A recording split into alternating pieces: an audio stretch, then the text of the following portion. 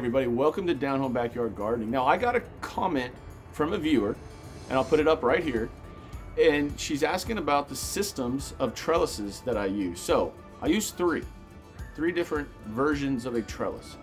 And I thought this would be a great video just to show what I do here in this little small suburban backyard for maximizing the amount of space that I have using trellises. Let's grow.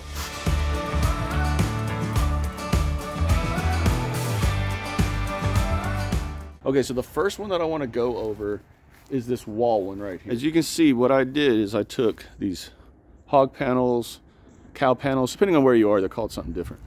But I took these and I ran them right up the side of the wall here, put those up there as braces,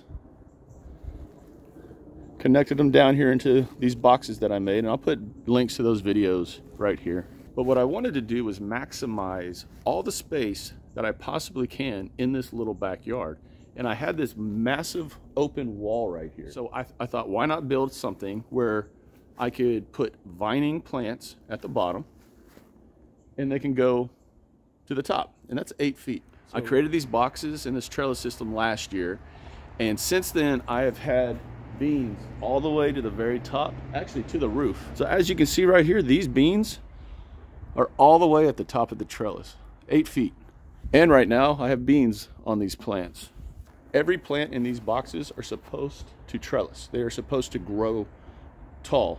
So uh, what I've also done is I've put in some other little braces to keep these plants in instead of coming out and helping them grow straight up.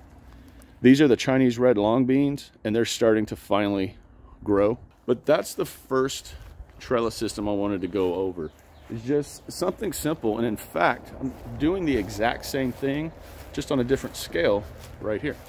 Okay, so this is basically the exact same thing. As you can see over there, I've got extra hog panels and T-posts up against that wall. I know it doesn't look good, but it is what it is. This is gardening, right? all right, so all I did was I drove in these two T-posts. I attached the hog panel with zip ties to the T-post. I really should cut that. And then I put these blackberries down at the bottom. Uh, I buried the blackberries last year.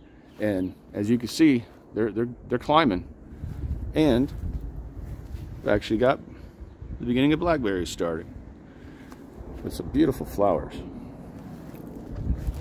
So that system right there works beautifully. and it's very easy. It's not super expensive, but the way I look at it is if I'm going to spend money on something, that's going to last for a long time, that I don't mind that initial investment because you can constantly use these over and over again. Shift them, move them, cut them, whatever you need to do. But that's the first trellis system. Using hog panel or bull panel, depending on where you are, is what it's called. Okay, here. everyone in the world, from the time you're a kid or growing up, you know what these are. Tomato cages. So I use these very sporadically. And I only use them when I really need them or if I'm going to plan on creating a way for a plant to climb and get off the ground. Using them again just for these peas to trellis and to grab hold of and for those beans back here to do the same. They trellised up from there and now they've cut over to I guess my neighbor's yard. I use the tomato cages like that and I'll be honest, I've never actually used a tomato cage for a tomato.